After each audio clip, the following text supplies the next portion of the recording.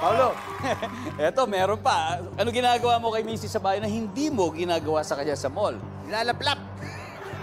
kiss lang, kiss. Kiss survey. Boom! Paulo, pass or play? play! All right.